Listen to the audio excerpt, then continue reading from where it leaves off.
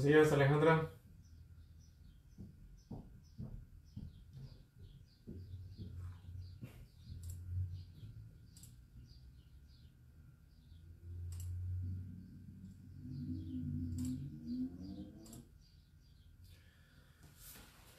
Buenos días, bendecido día Charitín. Buenos días Blanca Inés. Buenos días José Franco.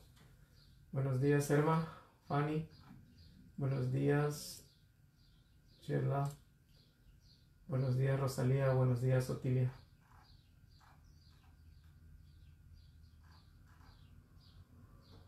Buenos días Marta Elena.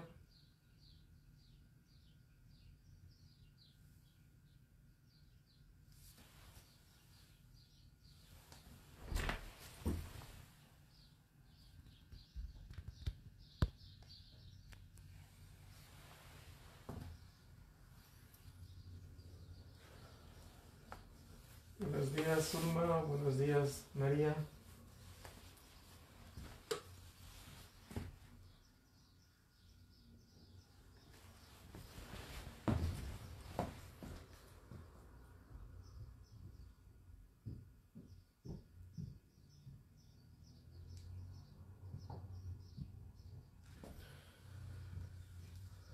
Buenos días en el nombre de Jesús.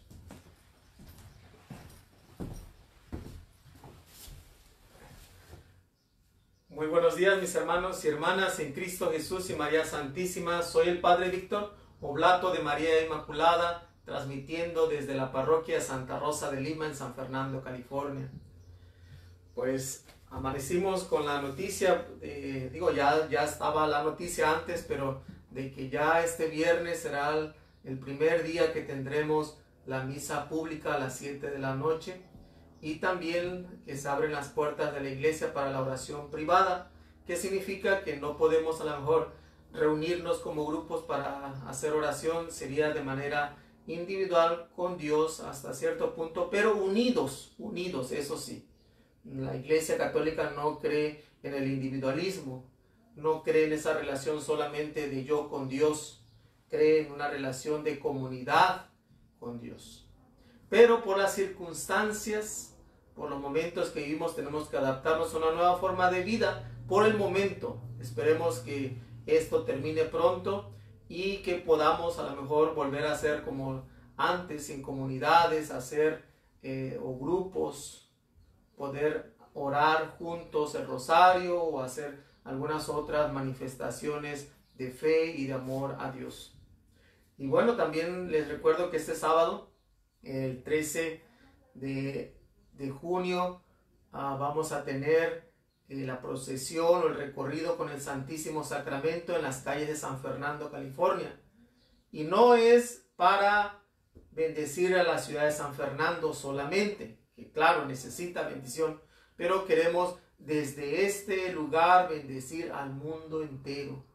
El mundo que necesita mucho de la presencia de Dios. Yo creo que a algunos nos ha caído el saco, ¿verdad? Como se dice, eh, con las situaciones de la pandemia, del encierro y todo eso, que nos ha generado una cierta comprensión de darnos cuenta de lo que estamos haciéndole a la naturaleza, de lo que estamos, cómo estamos viviendo como familias, cómo estamos valorando lo que tenemos y lo que somos. Pero otras personas definitivamente pues Ah, yo creo que a lo mejor por la misma condición humana, por la historia, pues en vez de mejorar, pues han empeorado. A veces las situaciones en el mundo, pues no, hay algunas situaciones y yo quiero que seamos claros, ¿ah? no, no es que es la mayoría que el mundo ya está perdiéndose, son ciertas personas, son, y digo, y hasta uno puede caer en eso, ¿ah? Por eso uno hay que mantenerse firmes en la fe, firmes en el amor a Jesús firmes en nuestro seguimiento y entrega radical a Dios. Y por eso yo creo que necesitamos nosotros también alentarnos y seguir creciendo en este amor a Dios, a bendecir el mundo desde nosotros, desde lo que hacemos, pedir por la paz del mundo, por un mundo mejor. Y por eso tenemos esta procesión este sábado eh, si ven en, la página, pues van a encontrar el mapa, van a encontrar la ruta por donde vamos a ir. Hemos, eh, hemos pedido a la ciudad y nos ha concedido tener siete altares, siete estaciones en las cuales eh, se va a hacer una pequeña veneración y adoración al Señor, recordando porque estamos en el marco del jueves de Corpus Christi. Tradicionalmente es el jueves, pero la iglesia, especialmente aquí en la arquidiócesis, arquidiócesis de Los Ángeles, pasa esta solemnidad, esta fiesta de Corpus Christi al domingo. Eh, y por eso es en el marco de esta fiesta de Corpus Christi, cuerpo y sangre de Cristo, que significa que vamos a hacer esta procesión con el Santísimo Sacramento por las calles, haciendo los siete altares que tradicionalmente se hace en símbolo de la plenitud de Dios. Siete veces adorado, siete veces venerado y siete veces que Él em, comparte su bendición con todos.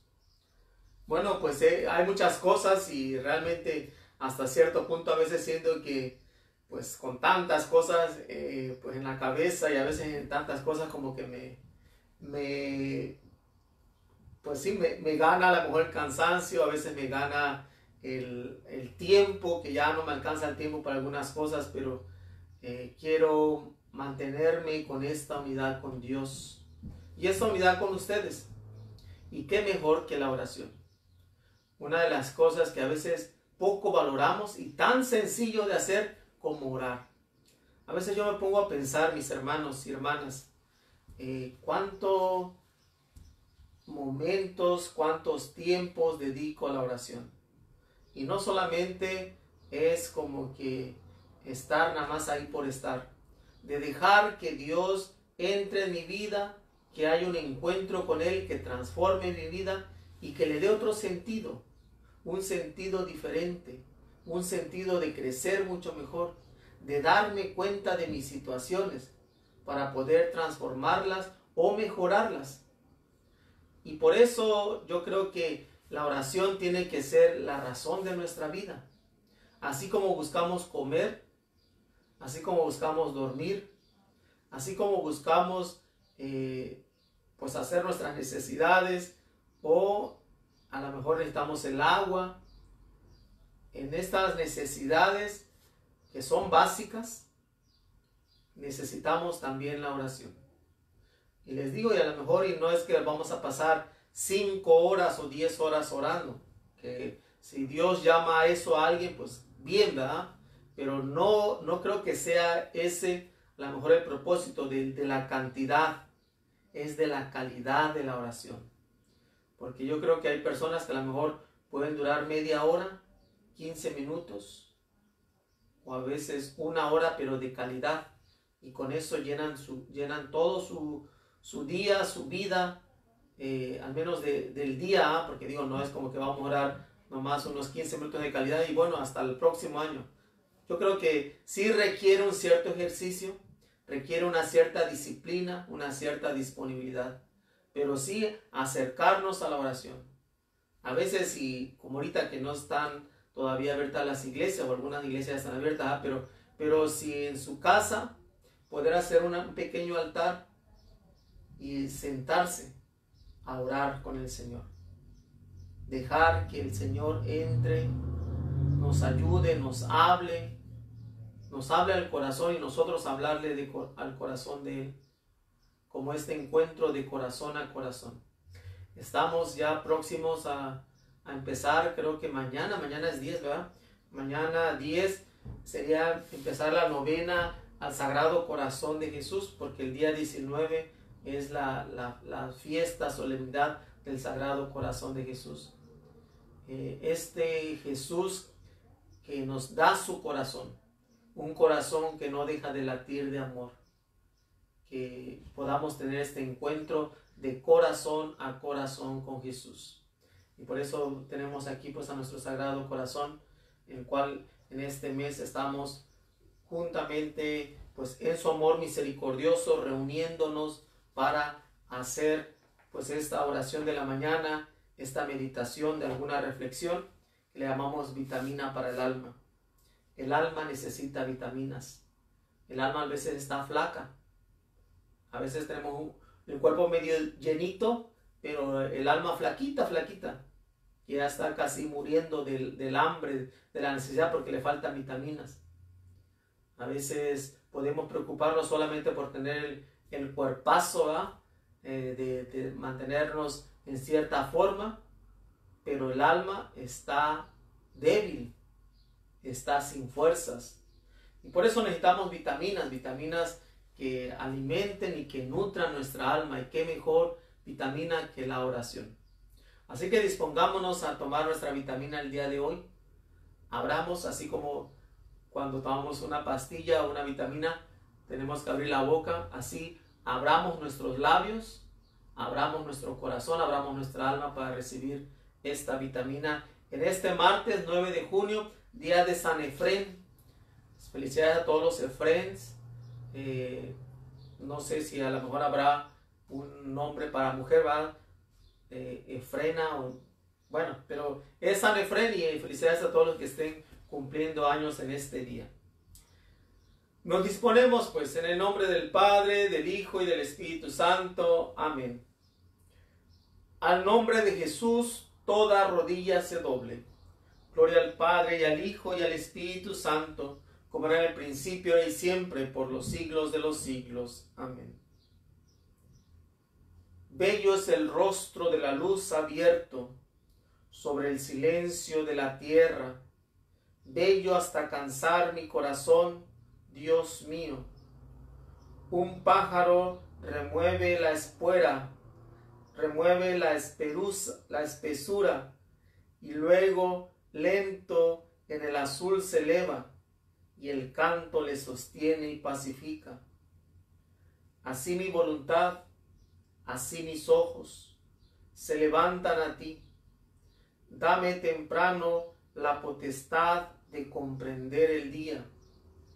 Despiértame, Señor, cada mañana hasta que aprenda amanecer, Dios mío, en la gran luz de la misericordia. Amén.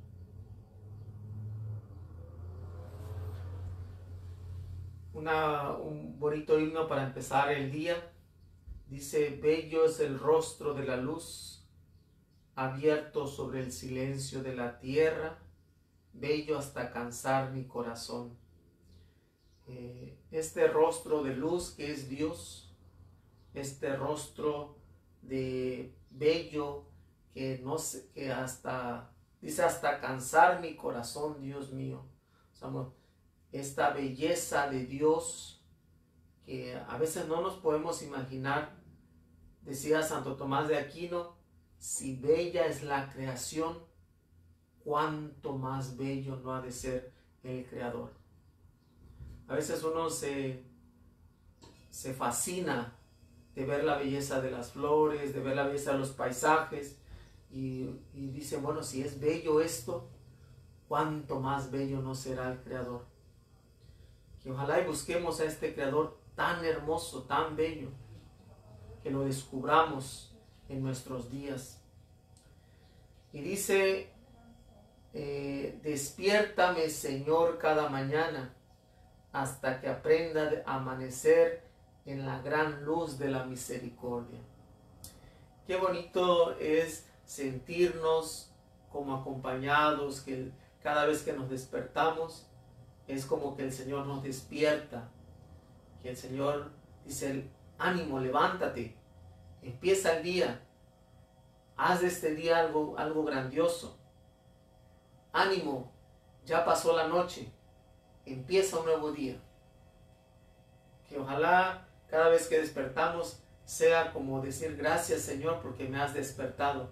Y ciertamente porque en, la, cuando despertamos pues es, es otro día que se nos da. Hay personas que ya no amanecen. Hay personas que ya no despiertan. Entonces si nosotros despertamos es una oportunidad más que Dios nos ha dado.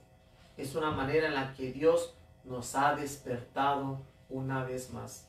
Hasta que un día despertemos a la gran luz de la misericordia. La misericordia de Dios que nos espera después de nuestra muerte, después de nuestro descanso eterno. Por eso decimos descanso eterno, como que dormimos en el Señor. hasta que nos despierte a esa gran luz de misericordia, de la misericordia que es Él, que es Él mismo. Hacemos el Salmo 64. Oh Dios, tú mereces un himno en Sión, a ti se te cumplen los votos, porque tú escuchas las súplicas. A ti acude todo mortal, a causa de sus culpas, nuestros delitos nos abruman, pero tú los perdonas. Dichoso el que tú eliges y acercas para que viva en tus atrios, que nos hacemos de los bienes de tu casa, de los dones sagrados de tu templo. Con portentos de justicia nos reprendes, nos respondes, perdón. Con portentos de justicia nos respondes, Dios Salvador nuestro. Tú esperanza del confín de la tierra y del océano remoto tú que afianzas los montes con tu fuerza, ceñido de poder, tú que reprimes el estruendo del mar, el estruendo de las olas y el tumulto de los pueblos. Los habitantes del extremo del orbe se sobrecogen ante tus signos, y a las puertas de la aurora y del ocaso las llenas de júbilo. Tú cuidas de la tierra, la riegas, y la enriquece sin medida. La sequía de Dios va llena de agua, preparas los trigales, riegas los surcos, igualas los terrones, tu llovizna los deja mullidos, bendice sus brotes, coronas el año con tus bienes, tus carriles resuman abundancia, resuman los pastos del páramo, y las colinas se orlan de alegría. Las praderas se cubren de rebaños y los valles se visten de mieses que aclaman y cantan. Gloria al Padre y al Hijo y al Espíritu Santo, como era en el principio, ahora y siempre, por los siglos de los siglos. Amén. Un, salmo eh, hermoso para empezar nuestra, nuestra, nuestro día para a tomar fuerza y esperanza de parte de Dios. Dice, a ti acude todo mortal a causa de sus culpas. Nuestros delitos nos abruman, pero tú los perdonas.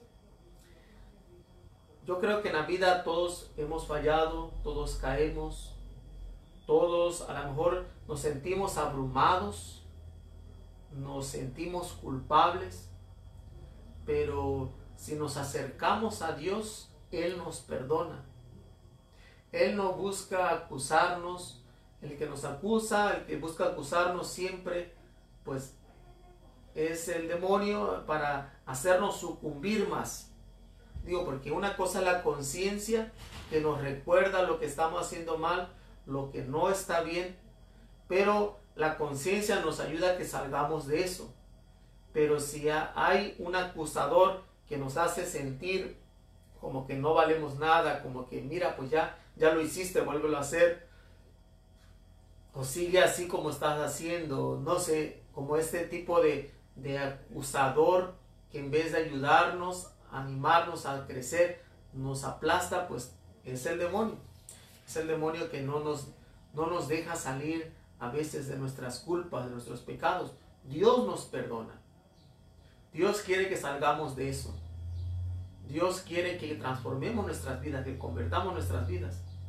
Tampoco no es un Dios que nos perdona como que, ah, bueno, lo que quieras, te perdono. Tampoco es eso, ¿ah? Dios quiere que nos perdona porque nos ama, pero quiere que salgamos de eso. Que transformemos nuestras vidas. Eh, dice, tú cuidas la tierra, la riegas y la enriquece sin medida. Dios es el que cuida la tierra, Dios es el que en sus manos está la creación. Por eso a veces hay que confiar en Dios, aún en las cosas que no entendemos, en los misterios de las realidades que vemos, poner nuestra confianza en Dios, que Él es el dueño de todo. Y aún aunque pasemos por situaciones no tan agradables, Pongamos nuestra confianza en Dios. Algo que nos recuerda siempre el Sagrado Corazón, seguir confiando en Dios. seguir poniendo nuestra confianza en Él. Leemos la palabra de Dios. De, primera carta a los tesalonicenses, capítulo 5, versículo del 4 al 5. Dice, ustedes hermanos, no vivan en tinieblas, para que ese día no les sorprenda como un ladrón, porque todos son hijos de la luz e hijos del día no son de la noche ni de las tinieblas. Palabra de Dios, te alabamos Señor. Esa invitación de San Pablo a no vivir en las tinieblas, no vivir en el pecado, no vivir en la oscuridad, no buscar cosas que no son de Dios, porque aún digo, hay personas que por, digo, ignorancia o necesidad, siguen buscando a aquellos que lean cartas, que hagan unos ciertos eh, hechizos o trabajos, como que estamos dejando que las tinieblas entren en nuestra vida. Y San Pablo reprende hasta cierto punto y invita, digo, no reprende en, el sentido que a lo mejor este, está regañando, pero, pero sí está animando a que no vivamos en las tinieblas porque no somos hijos de la noche ni, hijos de la oscuridad, somos hijos de la luz. Qué hermoso es vernos así, como hijos de la luz. Hijos que tenemos un Dios en quien tenemos que confiar y por lo tanto tenemos que caminar en la, en la verdad, en la honestidad, en la claridad, en la congruencia. No dejarnos de caer eh, no dejarnos llevar por las tinieblas, dejarnos llevar por el chisme, por el egoísmo, por la envidia, por todos los pecados que nos lleven a vivir como hijos de las tinieblas o hijos de la noche. Vivamos como hijos de la luz. Vivamos para que el día de la luz, el día de nuestra muerte o el día de la resurrección de los muertos o en el último día, el día del juicio final no nos sorprenda como un ladrón. Que estemos preparados porque estamos viviendo en la luz. Respondemos a la palabra. Señor, escucha mi voz, he esperado en tus palabras. Señor, escucha mi voz, he esperado en tus palabras. Hacemos el cántico de Zacarías. De la mano de todos los que nos odian, sálvanos, Señor. Bendito sea el Señor Dios de Israel, porque ha visitado y redimido a su pueblo y ha hecho surgir en favor nuestro un poderoso Salvador de la casa de David su siervo.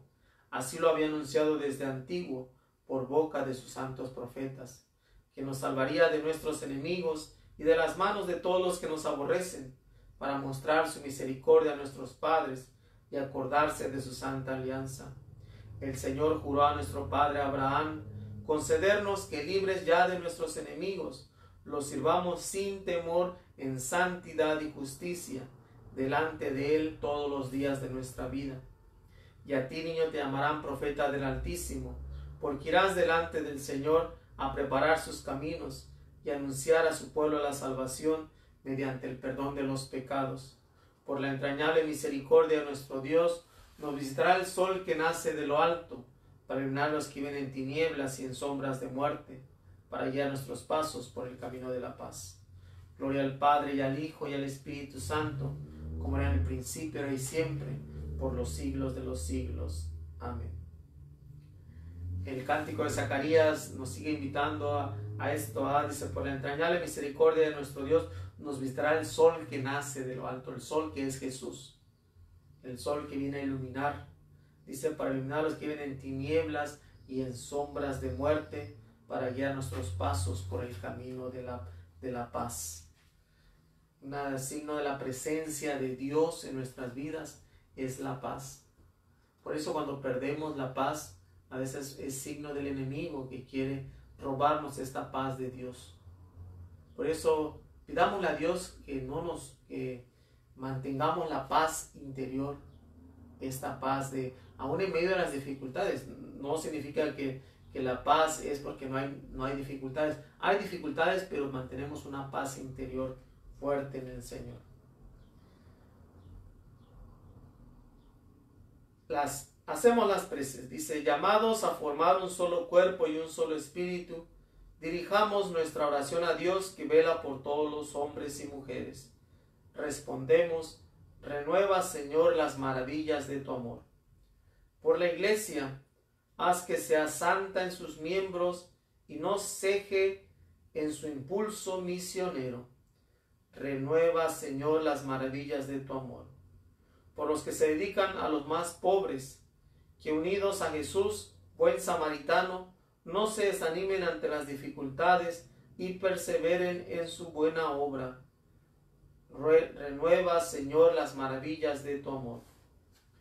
Por todos los hombres y mujeres del mundo, que sean fieles al dictado de su conciencia y se adhieran a la verdad conocida. Renueva, Señor, las maravillas de tu amor. Pues pedimos por esta situación que te está latente del, virus, situaciones que todavía pues lentamente estamos volviendo a la normalidad.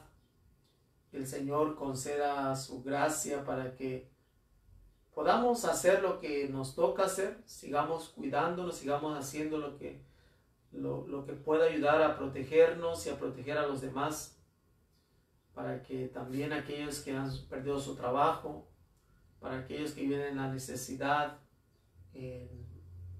pues a lo mejor en la discordia, en la división que a lo mejor puede haber generado toda esta situación, malos entendidos.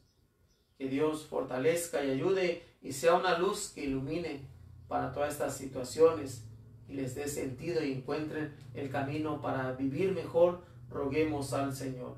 Renueva, Señor, las maravillas de tu amor. Pedimos por esta parroquia, por este tiempo de transición, para que el Señor le dé fortaleza les conceda serle fiel a Jesús, les conceda aumentar en la fe, crecer en esta docilidad ante el Espíritu que encamina a la iglesia, encamina la vida de todas las, las parroquias, encamina la vida de todos los sacerdotes. Y que el Señor les conceda pues eh, que esta transición y esto, este, esta nueva etapa pues sea de la mejor manera y que sea mucho mejor de lo que a lo mejor eh, se ha vivido, en la cual para algunos a lo mejor ha sido difícil, pero que el Señor ayude para que todo esto pueda ser mucho mejor. Roguemos al Señor. Renueva, Señor, las maravillas de tu amor. Pues ahora en silencio cada quien ofrezca sus propias necesidades e intenciones.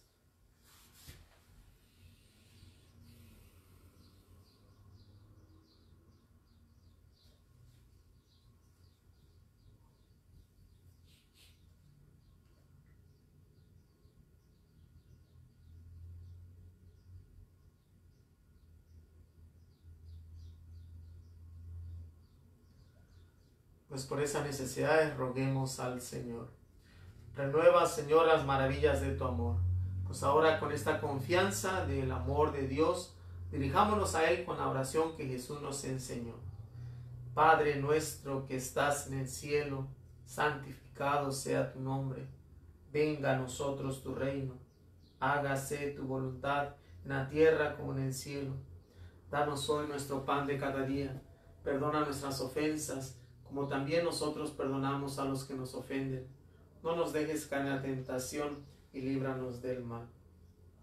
Oremos. Señor Jesucristo, luz verdadera que alumbras a todo hombre y mujer y les muestras el camino de la salvación, concédenos la abundancia de tu fuerza para que preparemos para que preparemos delante de ti caminos de justicia y de paz. Tú que vives y reinas con el Espíritu Santo, en la unidad con el Padre, y vives por los siglos de los siglos. Amén. El Señor esté con ustedes. Y la bendición de Dios Todopoderoso, Padre, Hijo y Espíritu Santo, descienda sobre ustedes y permanezca para siempre. Amén. pues estaba pensando qué compartir el día de hoy y eh, no sé, me vino a la mente a lo mejor compartir algo de nuestros seres queridos que se nos han adelantado. Sabemos que recordamos eso por lo regular todo el mes de noviembre, que es dedicado a los fieles difuntos. Eh, pero bueno, para mí, este, el 12 de junio fue cuando murió mi mamá. Así que me encontré esta historia que, eh, o esta reflexión que me hizo pensar, digo, pues sí, yo creo que los, nuestros seres queridos se nos van en cualquier momento. En cualquier, a veces algunos por enfermedad, algunos por accidente, algunos por otras situaciones que les, que, pues Dios permite que pues se vayan, que se nos adelanten, como decimos, ¿verdad? Porque sabemos que la muerte es solamente un paso para la vida eterna.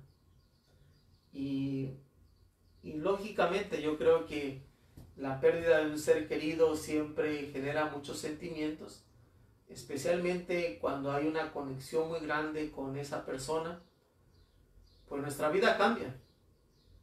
Eh, y a veces eh, llega momentos de culpabilidad, ¿qué hubiera hecho yo? ¿Qué más hubiera podido yo hacer? ¿Por qué yo no hice esto? ¿Por qué yo no le ayudé en esto? ¿Por qué si eh, estaba ahí yo no aproveché el momento para compartir más tiempo. porque No sé, tantas como situaciones de culpa que genera. Tantas situaciones a lo mejor de desconcierto. A veces de enojo, enojo que también es, un, es parte del proceso de duelo, como se llama.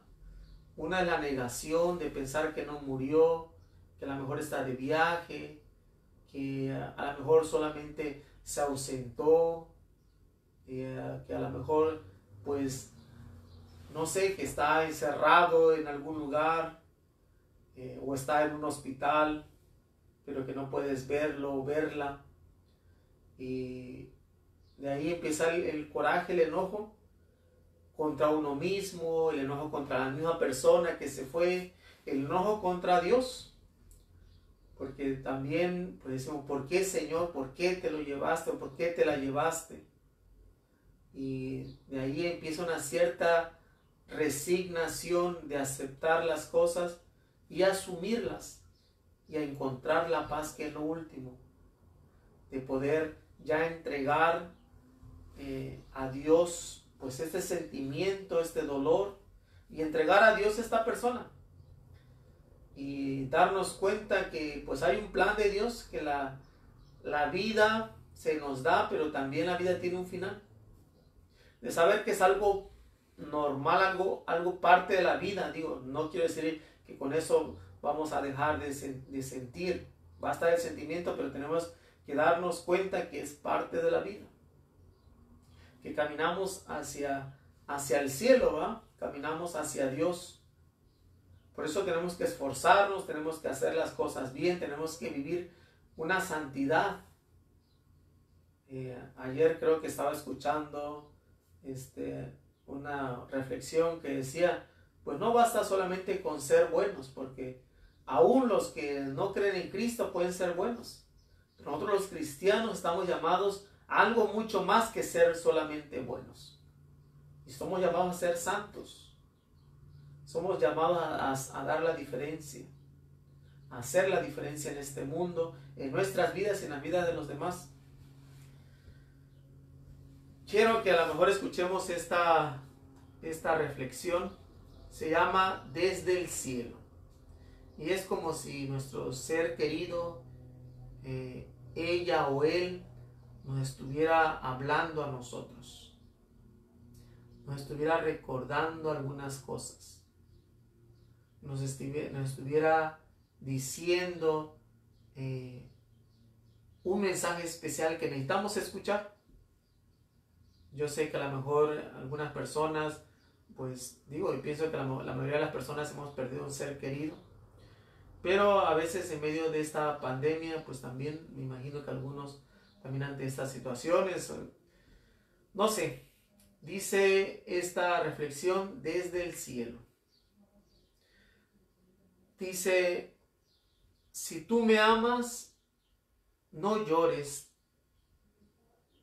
Si conocieras el misterio insondable de Dios, ¿dónde me encuentro? Si pudieras ver y sentir lo que veo y siento en estos horizontes sin fin y en esta luz que todo alcanza y penetra, tú jamás llorarías por mí. Ahora estoy absorto por el encanto de Dios y por sus expresiones de infinita belleza. En confrontación con esta nueva vida, las cosas del pasado son pequeñas e insignificantes. Conservo aún todo mi afecto por ti y una ternura que jamás te pude en verdad revelar. Nos amamos eternamente en vida pero todo era entonces muy fugaz y limitado. Vivo en la serena expectativa de tu llegada un día. Entre nosotros piensa en mí así. En tus luchas piensa en esta maravillosa morada donde no existe la muerte y donde estoy junto a la fuente inagotable de la alegría y del amor. Si verdaderamente me amas, no llores por mí, estoy en paz.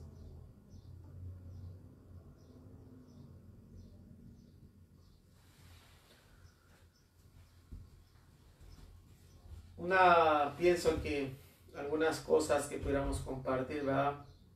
Pienso que el llorar no es malo. Aún Jesús en el Evangelio, pues sabemos que lloró.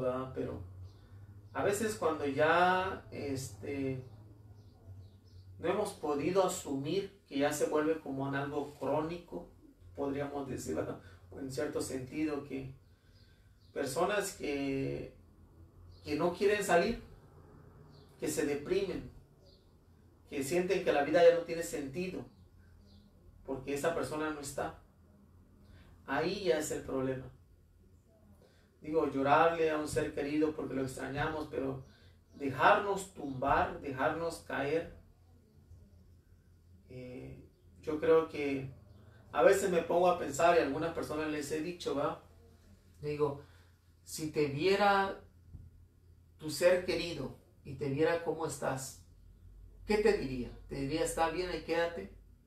¿O te diría, no, sal?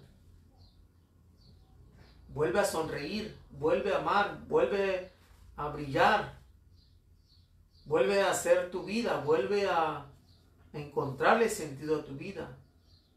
Él le va, a la persona, él o ella le va a dar tristeza verte así, porque te ama, y el que ama no quiere ver sufrir al otro. Entonces, por la situación, a lo mejor digo, y va a depender de, de situación a situación, va para superarla. Hay situaciones que son muy, mucho más difíciles de superar, pero no por eso vamos a dejarnos vencer y a dejarnos abatir porque la persona nos y nos quiere, nos quiere ver felices.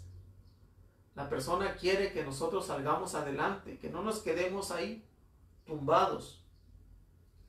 Y más pensando si esta persona que amamos, pues hizo el bien, buscó amar a Dios, buscó tener una vida pues ordenada, eh, pues a lo mejor eso nos daría más consuelo porque esta persona pues a lo mejor está ya compartiendo con, Dios. Este cielo que sabemos que es el, un lugar, el lugar perfecto, Aquí vivimos un lugar imperfecto, pero allá con Dios será un lugar perfecto. Y por eso nos tiene que dar esa esperanza y orar por nuestros seres queridos. Recordarles y seguir pidiéndole a Dios que Digo, uno no es Dios para decidir quién entra al cielo y quién no entra, pero que pedir para que Dios les conceda pues este lugar de, triunfo, este lugar de paz, este lugar de alegría, este lugar de felicidad. Esta, este lugar que llamamos el paraíso. Dice, pues también aquí va, dice, conservo aún todo mi afecto y, una ternura que jamás pude en verdad revelar. A veces yo creo que por nuestra historia de vida nos limitamos para expresar el amor como debería de ser. Pero ya allá en el cielo, pues ya, eh, ya cuando estamos liberados de todo, de todo el pasado, de todas las situaciones, pues ya podemos manifestar y revelar este amor y esta bondad de la manera apropiada, de la manera que es mucho más, más abierta, más original. Y, y bueno, yo creo que está, está esta expectativa, esta dicha, esta esperanza de que algún día vamos a volver a encontrarnos con ellos. En el momento que nos toque, tampoco es de que nosotros vamos a buscar este, adelantar ese proceso, es dejarlo a Dios, es amar la vida, es amar lo que somos. Dice un dicho, el que ha sabido vivir, sabe también morir. Por eso también yo siento que amemos a la vida, luchemos por hacer de esta vida una vida digna y Dios que nos llame en su momento. Eh, tampoco yo creo que no es válido personas que deciden a lo mejor quitarse la vida, eso no. ¿Qué sentido tiene? Y a veces hay situaciones, yo digo, a veces puede ser algunas enfermedades mentales, ¿va? Pero, pero, pues yo pienso, si tenemos manos, tenemos pies, escuchamos, vemos, y, hay tantas cosas todavía, o a veces en nuestras discapacidades, nuestras limitaciones, hay personas que nos aman. No encerrémonos en nosotros mismos. Y pensar que algún día pues, vamos a volver a reunirnos con estas personas en el cielo, con estos seres queridos. Dice, piensa en mí en tus luchas.